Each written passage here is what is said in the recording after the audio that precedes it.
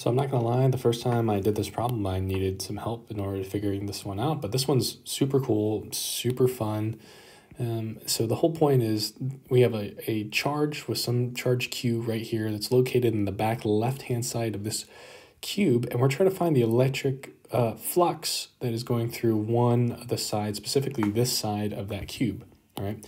So if we think about this from like a top-down view, where we we're looking from the top down, looking at this edge and looking at this charge right here, the way that's going to look and the way you might have uh, started this problem, and at least that's the way I did it, was kind of think uh, too hard about it, was that, so if we draw the electric field lines from this, if we draw the electric field lines poorly from this point charge, oh my gosh, then you'll see here that the normal vector to that surface, we're going to need to do some dot product, right? We're going to have to find the, uh, the, the inline components of these, these charges or these uh, electric field lines here. And, and then you're going to look at that and look at the, uh, the Gauss's law for it, right? Where it's kind of like this dot dA, right? Is equal, that's equal to the flux, right? But that actually ends up not being what we need to do so one of the ways that you can do to solve this problem is actually kind of just uh,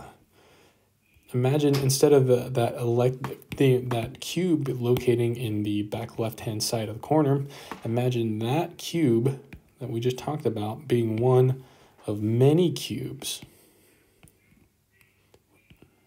Right. So imagine these are all cubes here. All right, maybe I can draw it a little bit better. so imagine that, that one cube that I drew originally with that charge in the back left-hand side, imagine it being uh, actually just this cube right here, right? And then you had all, but all these other cubes around it. So now what we're looking at is the, uh, the electric flux through here. We kind of just, imagine we just like zoomed out and now we have that, uh, that cube and this is where that charge is, right? And now this charge is at the center of this giant cube right here. So if we think about the entire flux throughout this entire cube, since this cube perfectly encapsulates this, this charge right here, the total flux from that charge, I'll just go ahead and write flux total, um, total we know that the, the entire flux going through this entire giant charge right here is just going to be equal to uh, the charge that's enclosed over epsilon naught, right? So now when we think about the charge, the amount of flux that's going through only one of these tiny little sides right here, kind of the, now when we look at the zoomed in version, the original version that we had, it's only going to be uh, one fourth of one of these sides here. It's just because all these captures all the flux going through that side. And that one fourth is part of, of course, one of the six sides from this entire cube. So all in all, this side right here is one equal flux, amount of flux that's going through it as all the rest of the 24 sides that the flux is going through.